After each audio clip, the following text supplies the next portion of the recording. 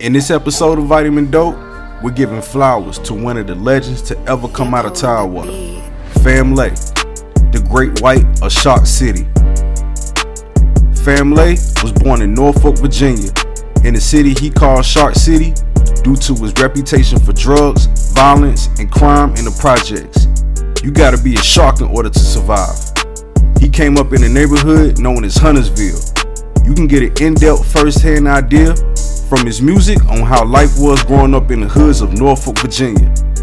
Fam Lay was signed to Star Trak in 2002, a record label founded by the Neptunes, Pharrell Williams, and Chad Hugo, and executive Rob Walker. He gained universal notoriety after making guest appearances on some early Neptune projects and being featured on the Clipse debut album, Lord Willing. In 2003, Fam Lay was featured on the Neptunes compilation project titled Clones with the hit record Rock and Roll. Yes, sir. Rock and roll and roll and rock. I got tens, got twenties, got fifty blocks. I got smoke to buy, uh, coke for sale. So much coke, got coke in jail. In the white Rolls Royce with my man Pharrell. This little nigga got beats too fresh to be. A year later, he dropped a remix featuring Houston's Lil Flip, leading to heavy rotation on MTV Jams. In 2004, Fam Lay was featured in the video game Def Jam The Fight for New York as a playable character added to the storyline. I mean, how many people can say they've been a character in a video game? Man, that shit is dope. Fam Lay was set to release his own debut album, Train to Go, in 2004 through a joint venture with Star Trak and Def Jam Recordings. Train to Go included production from Lil Jon, David Banner, and the Neptunes. But unfortunately, due to several delays, Train to Go was never released.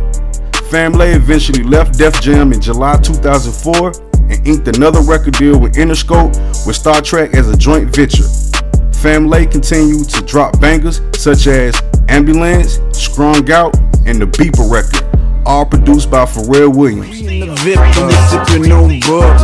I'm in the VIP and they lighting up drugs. I keep a full fifth right down by my nuts. See me on my two way and I keep it blowing cuz. Hit me on my beeper, hit me on my beeper, hit me on my beeper, hit me on my beeper. We looking for the beige and the green and the diesel. Hit me on my beeper, hit me on my beeper. One of the topics spoken about when it comes to Virginia music is sound definition. Fam Lay quoted in the record What's My Name? I don't make North music, I don't make South music. I'm from Virginia, nigga. That's what we bout, stupid. With Virginia being the top of the South and the bottom of the North, artists like Fam Lay is a front runner for the music culture developing its own uniqueness. In 2014, Fam Lay took his business skills to a new height, discovering the rapper Bia through YouTube and introducing her to Pharrell, leading her to signing a record deal with the new imprint I Am Other. Bia has had a successful music and acting career and continues to do so today. In 2020, Fam Lay collaborated with Pharrell launching a new podcast called The Other Tone, having had many different celebrities and artists such as Tony Hawk, Tiffany Haddish, Quincy Jones, Vince Staples, Drewski, Seth Rogen, and more.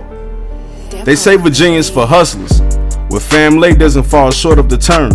He also co-founded the highly successful R&B block party event held in downtown Norfolk at the Scope Arena, one of the biggest venues in Tidewater. And from what I've seen, those events are always packed, full of great vibes and good energy. Fam Lay continues to make Virginia proud and representing it like it should be.